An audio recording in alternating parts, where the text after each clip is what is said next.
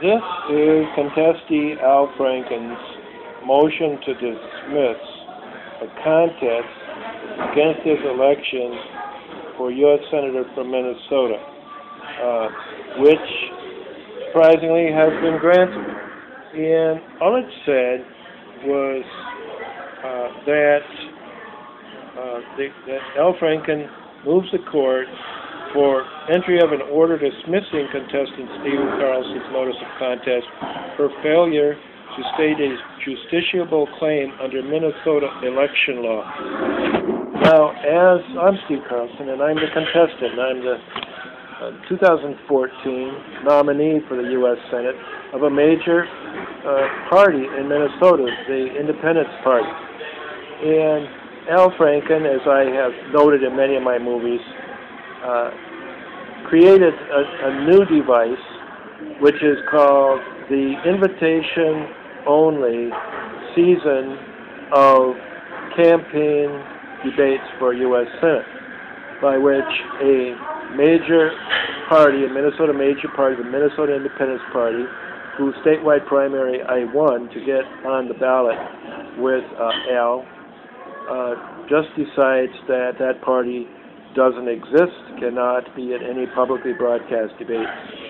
So that uh, really bothered me this year, but there's a few other things uh, which are in this uh, amended contest, and I put those out in some uh, movies. Uh, they include, for instance, gender quotas in violation of the 19th Amendment, which abridge uh, male voters' right to vote in the precinct caucuses, right to be voting delegates and really make it difficult for anybody to campaign uh, since people who don't agree with that can't participate there.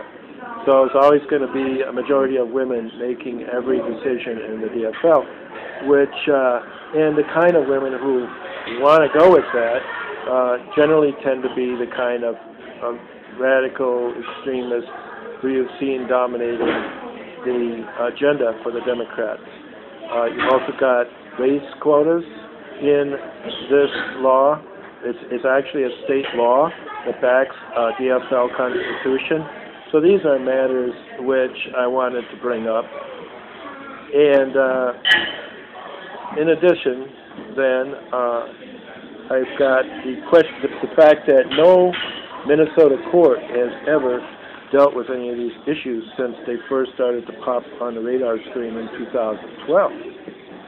So I have prepared another document which is called the uh, Notice of Appeal of the uh, uh, preliminary order which granted Al Franken the right just to appear at the Senate, even though there's a contest against him. And nothing could ever be uh, raised about it. So it's also asking for mandamus, whereby the Minnesota Supreme Court would uh, go ahead and review this and, and, make them follow the laws I'm going to uh, describe here. So here is a, a little bit from that. Uh, I hereby file this mandamus action or alternatively appeal from the preliminary order of the election contest panel that consisted of uh, district court trial judges from Hennepin County, Ramsey County, and uh, the 10th Judicial District, which is primarily Anoka. I believe it includes Wright, Sherburne, and forgive me if I can't remember the other fourth county uh, that uh, that judge uh, represented. And uh, the the trial was on December 18th, lasted about three and a half hours in Ramsey County, and uh, what happened then is that uh, they entered this partial uh, judgment, which basically would put before the U.S. Senate only the issue of who got the most votes. And I've never, I've really never said that they counted the votes wrong.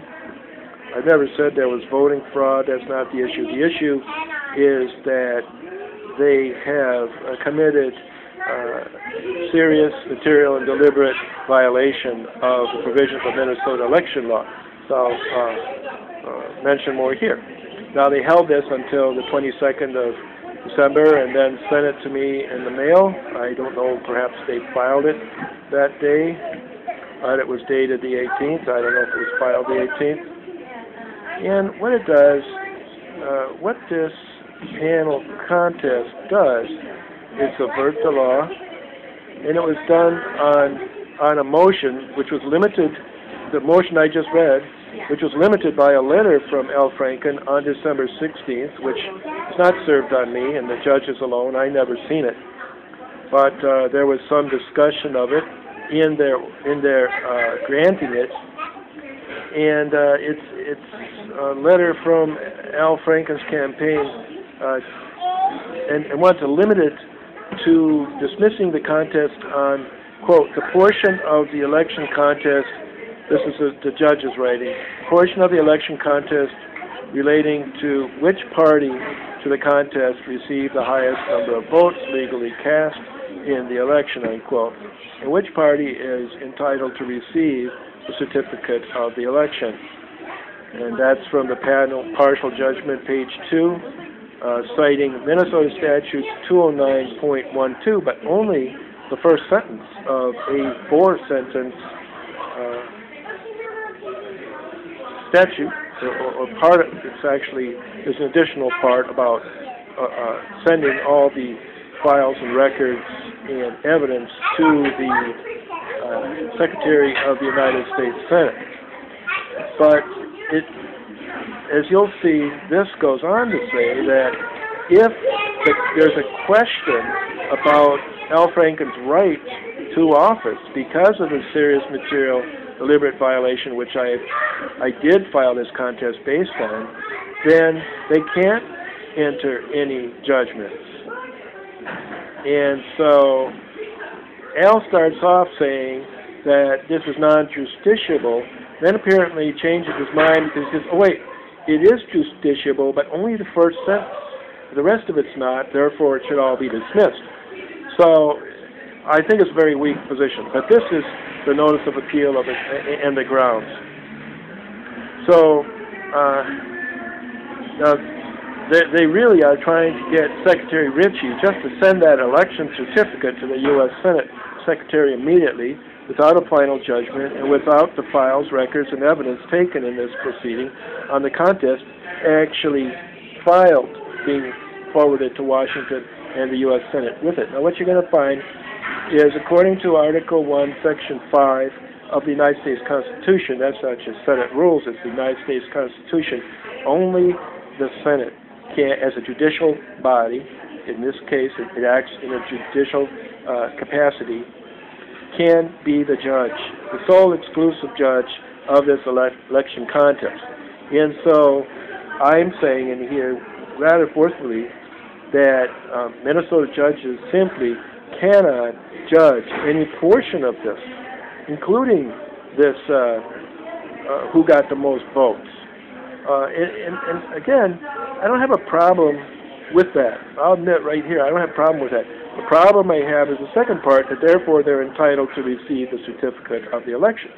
Because according to the statute as a whole, and, cer- and certainly this is not something that the legislature could determine, only the U.S. Senate can determine this. And I, will get in, into this, and I think I think that um, the Constitution has to be followed, and Al Franken is committing uh, again more lawless acts, trying uh, trying to come out here from New York and represent Minnesota in the uh, U.S. Senate, and not you know basically just a celebrity kind of candidate.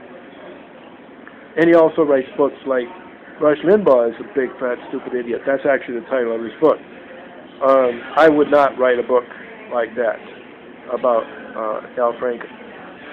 Okay, so this is in clear violation of Minnesota Statute 209.12, which reads, evidence on any uh, points, uh, any other points specified in the notice of contest, including the question of the right of any person uh, to nomination or office on the ground of deliberate, serious, material violation uh, of the provisions of the Minnesota election law must be taken and preserved uh, by the judge trying the contest or by some person appointed by the judge for that purpose. But the judge shall, shall take, make no findings or conclusion on those points, unquote. And again, all this needs to be filed with the Secretary of the Senate. And it's for that purpose. And trying to hold that part which is intended for them out and just pretending that there's no contest, just getting the election certificate clean as a whistle and appearing in the Senate violates Minnesota law, also violates the U.S. Constitution because they're acting as a judge, they're reaching conclusions of law. So, here's my grounds. Number one, the Congressional Office Election Statute 209-12 clearly prohibits the panel from passing a judgment on, quote, the right of Al Franken to office because this election contest has been filed. Two, that the partial judgment subverts the law. This is an attempt of judges to undermine democracy. Three, that all the judges in this case are required, although they refuse, to give sole and exclusive judicial power over this contest to the U.S. Senate alone, if they are to follow the law, and not their own arbitrary, capricious flights of self-indulgence and power, arrogating the right that resides only in the people to conduct elections under the rights granted and secured for us in the U.S. Constitution. Four, that the voters of Minnesota would not be deprived, uh, necessarily or unnecessarily, of elected representation in the U.S. Senate. That's uh, from their partial findings, page 5, paragraph 5 as the panel finds, because the Senate can take this record, which our law requires be sent, and after Senate action, the panel, this court, and the United States Supreme Court can reach a final decision in appeal of the questions in the election contest. In other words, the Senate can do what they want with all of it. It doesn't deprive anybody of anything. Uh, now, if the Senate decides that there is a serious material and deliberate violation that calls into question Senator Franken's uh, right to be uh, to that office, to be the next U.S. Senator, then that's only their right. It's not anybody else's right.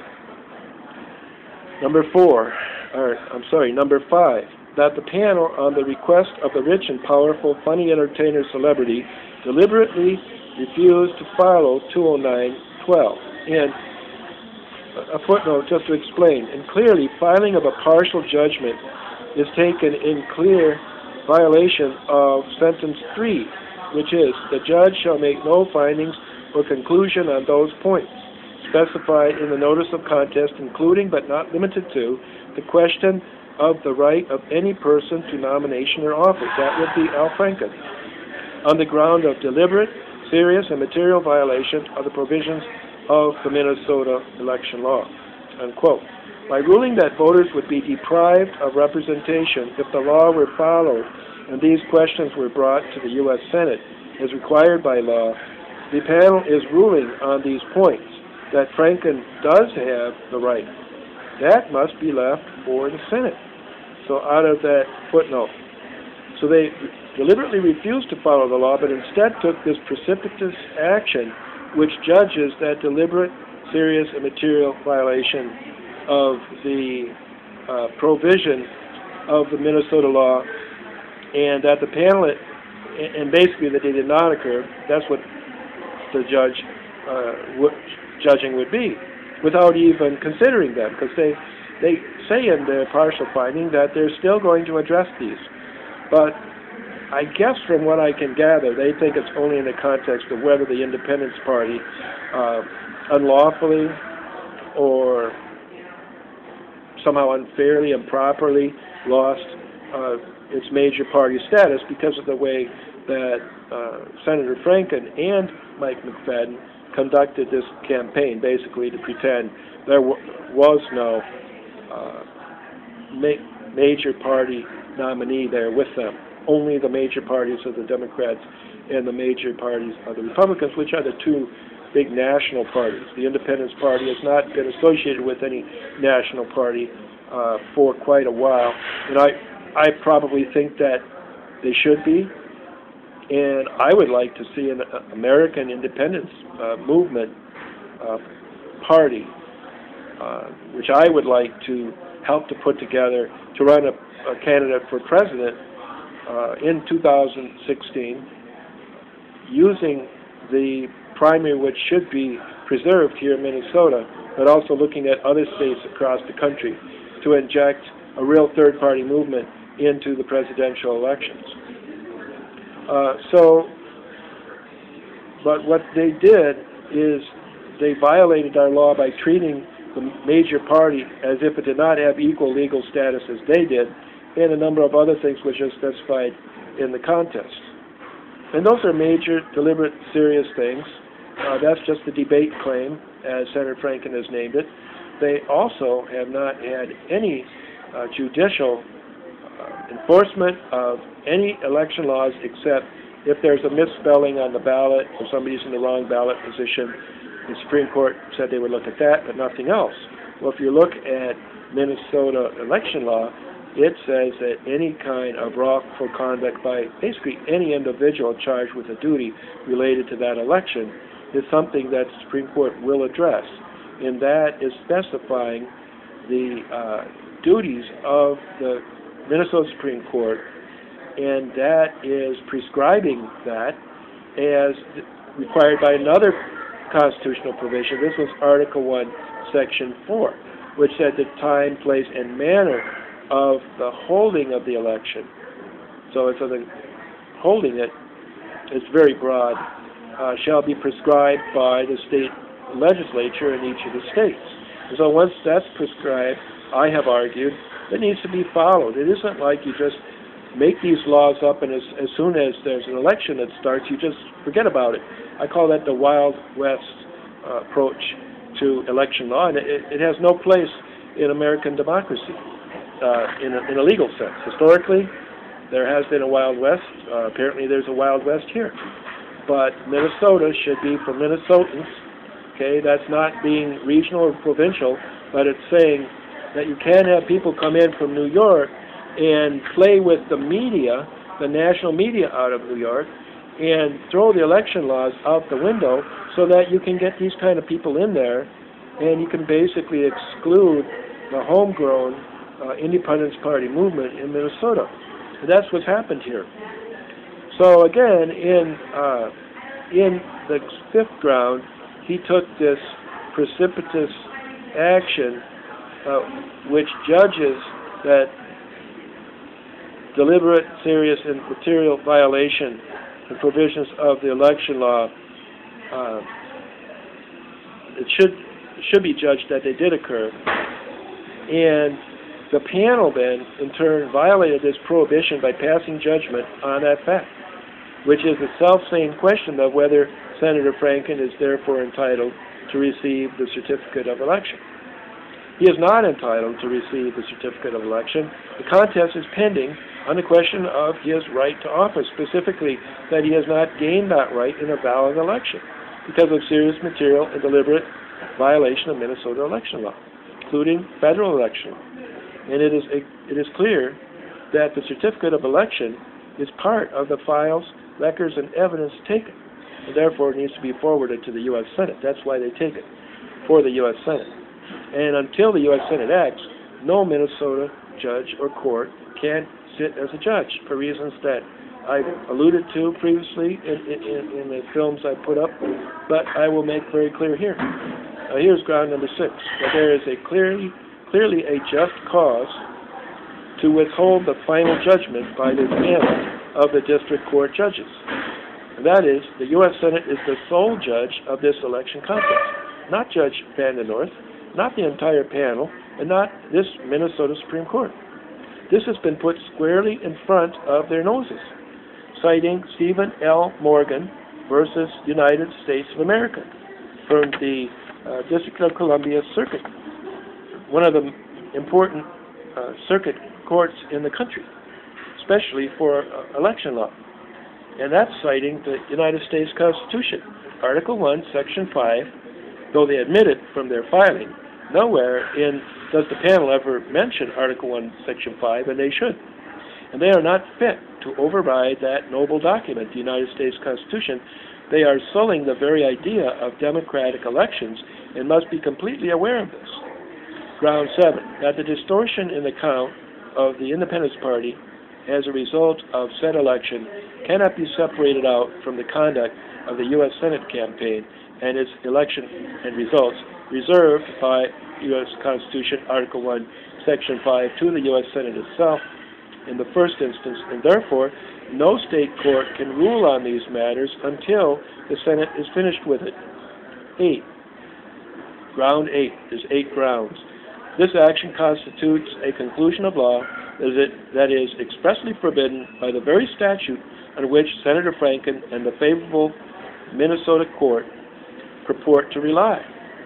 Again, no Minnesota court may stand as a judge in this contest, and sending the election certificate when there is a contest to the right of office of Senator Franken that is reserved for the Senate while withholding the serious material and deliberate violation from that Senate is a violation not only of Minnesota but also the federal law and Constitution. This panel's violating the law. The relief sought. This Minnesota Supreme Court must immediately begin to follow our pre-established election laws prescribed and cease the lawlessness of the Minnesota courts and parties, specifically to restore the discovery proceedings, including the answering of all interrogatory questions served on Senator Franken, on Mark Ritchie, Secretary Ritchie, on Nancy Breen in his office, who has for years been uh, signing people up to get the voter email addresses that uh, Minnesota voters submit voluntarily or involuntarily. They just started doing it involuntarily when they register to vote. And that's because under Minnesota law, that is this Minnesota Government Data Practices Act that's presumed to be public because the legislature has not and could not, under the First Amendment, uh, classify it as non-public. And the other person on whom interrogatories were served is Bert Black, the OSS counsel, that's Office of Secretary of the State Counsel, uh, who really uh, jumped in and overruled Nancy Breen in 2012 and started this litigation. Okay, and also, uh, they should not be allowed to refuse to answer on procedural grounds because that would require a conclusion of law that only the Senate can answer. And maybe it's the U.S. Senate that needs to handle this discovery. And actually, it was it was uh, conceived by North that the Senate should not be bound by the record of this panel, and therefore I might have another remedy of having them sanction discovery, and indeed, that is something I do want to do, but uh, before January 6th, and until they do that, this discovery in Minnesota should proceed. And I did not know at that time that they had already written this partial judgment based on uh, this little one-page motion from Senator Franken and uh, a little letter that I have not even seen, but which I've described to you. So they should restore discovery but most importantly, all the files, records, and evidence thus far must be certified and delivered to the Secretary of the U.S. Senate by the court. Now, I can, I can deliver that to the U.S. Senate, but I can't certify it. And they would probably want it to be certified, but they don't need it to be certified. But I think under Minnesota law, it's supposed to be certified. And I will lose Minnesota legal rights it may turn out to be moot if Franken is successful getting this done without the full record. Uh, but um, I think that they would benefit if we would continue uh, discovery and certify that and provide it to the Senate. Uh, there should be communication right now between myself, Senator Franken, uh, and uh, probably Senator Franken, myself, and the court. Uh, could be the U.S. the Minnesota Supreme Court, but perhaps they would like to simply mandate that the Uh, panel continue and that we make sure that the U.S. Senate has everything it wants and needs on January 6th when they will organize the 114th Congress. And they are a bigger deal than one senator, even though Senator Franken somehow served as the chair of the Judiciary Committee of the U.S. Senate. So he should know all of these things. All right, so I, accordingly, this election certificate, well, let, let me put it this way. The most importantly is, is to uh, certify and deliver this, even though there is more to be done after the U.S. Senate has had ample notice and opportunity to make these judgments. I'm talking about more in Minnesota. Accordingly, this election certificate must be withheld, or else the entire record must forthwith be forwarded to the Senate as required by Minnesota law, by honesty and non-interference in the judgments of the U.S. Senate. The composition of the U.S. Senate is fundamental to all the laws of the country, and the admission to the Union of Minnesota requires faithful compliance with the just requirements of the U.S. Senate. This partial judgment must be immediately reversed, and the entire files record, including a transcript of oral argument and evidence, be certified and forwarded to the U.S. Senate together with the election certificate ordered by the panel. If that election certificate has been transmitted to the Secretary of the Senate without the full record, this court must immediately notify the Secretary of the Senate, and this will be the Minnesota Supreme Court this is directed to, and withdraw the certificate as invalid and resubmit it with the full files, records, and evidence, since the race is still subject to a contest under Minnesota law concerning serious, deliberate, and material violation of provisions of Minnesota election law, including the U.S. Constitution 1st, 5th, 14th, 15th, and 19th Amendments, and Article 1, Section 4, as set out in the amended contest accepted by the statewide panel. so, I'm going to end this uh, video. Um, next video is going to focus on this uh, memorandum beginning with the duties of Minnesota courts concerning an election. And uh, I will argue very forcefully that stop violating the United States Constitution. The Minnesota Supreme Court has violated the U.S. Constitution. They started to get this panel going. Now this panel and Senator Franken, the former chair of the Judiciary Committee, of the United States Senate are violating the United States Constitution. And, and what is Senator Franken doing with that position of the Judicial com uh, Committee? He is authoring and supporting and organizing a rollback of the First Amendment on, on the grounds that he doesn't like the Citizen United decision, so he's going to try to get everybody to amend the First Amendment so that it gives him and people like him in the Senate control over the campaign financing of his own campaigns, of the Senate campaigns. So not only are they reaching into the legal apparatus to try to control the campaign, cut off all debate, cut off all communications and free media available to a third party major uh, party candidate uh, who, are, that's by Minnesota statute. And also instead engineer quotas uh, for a DFL, so even the people in the DFL lose their First Amendment rights, and also cut off use of public information, voter email addresses that Mark Ritchie, as Secretary of State, the Chief Elections Officer, dug in and took home and raised funds for his campaign and other DFLers, but denies to the Minnesota Independence Party nominee for U.S. House in 2012 when I applied for that, and for the U.S. Senate this year. And that's what this is about. I'm Steve Carlson.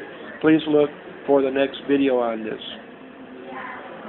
And on January 6th, let's look into the U.S. Senate to make sure that they enforce the U.S. Constitution, including free speech, and that they look into this matter, because this is all over the country Al Franken and Walter Mondale and the rest of the DFL, uh, Don Fraser, uh, George McGovern was doing it. That's how he got to be the nominee for